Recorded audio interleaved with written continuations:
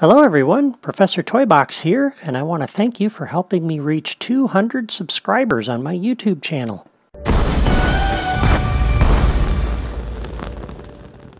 Thank you very much to all of my subscribers, and I'll be back soon with a brand new video.